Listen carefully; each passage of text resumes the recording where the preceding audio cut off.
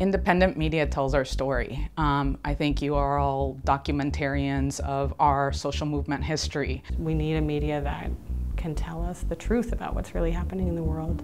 Independent media for us has been such a valuable support and collaborator in telling the stories of the real change makers, the real leaders in social movements who are out on the streets, out in their communities every day. I will say thank you first and foremost for the folks that do like come out and cover you know the righteousness that's going on the organizing that's going on alternative media journalists cameras pens, ink, all of that stuff, typewriters, computers, all of that stuff in those crucial moments is really, really completely necessary. Free press is probably one of the most vital things to a democracy.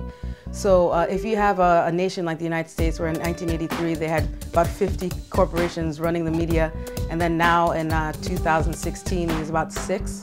Uh, so that means that basically you're getting a very funneled down idea of what is going on and based on those corporate interests you might get a rather skewed perspective. The massive distrust that people now have in the media, uh, the fact that they no longer feel uh, either represented by the political class or represented in their day-to-day -day lives by the media, um, that means that they will look to alternatives and the alternatives can come from the far right, they can come from Breitbart, or they can come from serious independent media outlets, pursuing real journalism and real independence of thought.